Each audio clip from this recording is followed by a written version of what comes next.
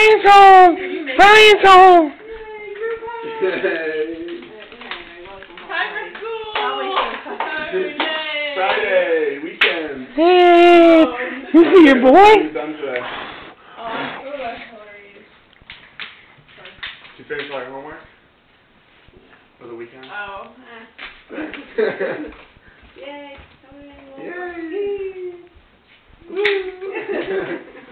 doesn't say Brian. You're gonna reuse that? oh, I, I mailed my debit card here, so keep an eye out for that, please. This is my home and Israel bag. The black one? Oh, you have everything in it already? Everything I need. It was tough to pack because I had so many different things going so many different places. So you have clothes for Israel in here, Yeah. but you're gonna be going back to L.A. Yeah. But all my clothes are now in Huntington Beach because I moved all my boxes and stuff there. So now when I get to LA, I stay at ATO for a night, sleep on my mattress without pillows or blankets, and Hmm. then and then go to Israel.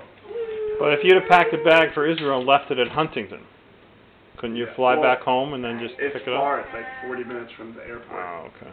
So you're not going there from between now and I Israel. like that backpack. And I still care about you. Yeah. What if you left I a got bag? a shop on. What if you left a bag packed for Israel Oh, at ATO? And what would I bring here? I seriously don't Another bag. Shirts and a short. Oh my god. I'm only here for three days. I figured I'd combine my home and Israel bag. That